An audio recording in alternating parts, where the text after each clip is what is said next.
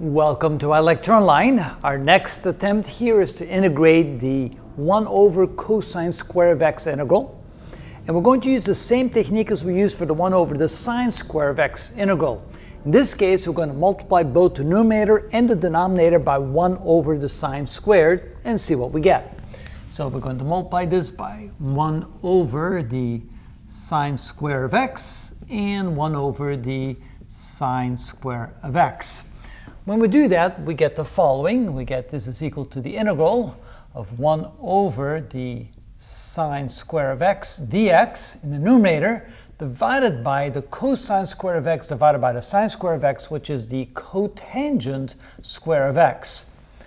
Now, the attempt is that if we let u equal the cotangent of x, that the numerator then becomes the differential, the du. So what I'm saying here is that if u is equal to the cotangent of x, and now we find the du of that, so the du dx is going to be equal to, well, let's see here. The cotangent is the cosine of x over the sine of x. So when we take the derivative of that, we use the quotient rule, we get the denominator times the derivative of the numerator, which is going to be a minus sine of x, minus the numerator, cosine of x, times the derivative of the denominator, which is the cosine of x, all divided by the denominator squared, sine square of x.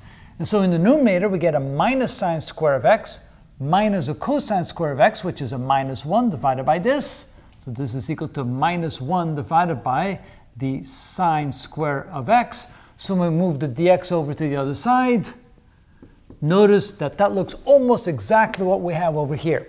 The only thing we're missing is a negative sign. So we make this a negative and put a negative in the front, and now we have the exact differential du in the numerator, and we have u squared in the denominator.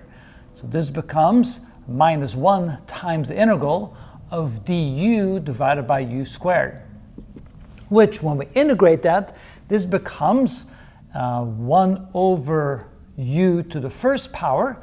Now that will add another negative 1, which will cancel out this negative 1, and we have a constant of integration. So this is u to the first power, simply 1 over u. And then if we plug back in what we have, this is equal to 1 over u is the cotangent of x plus a constant of integration. And of course, the inverse of the cotangent is equal to the tangent of x plus a constant of integration. And that then becomes the result of the integral of 1 over the cosine square of x. So again, the same technique, the same trick, and you can see then very readily we're able to integrate it. And that's how it's done.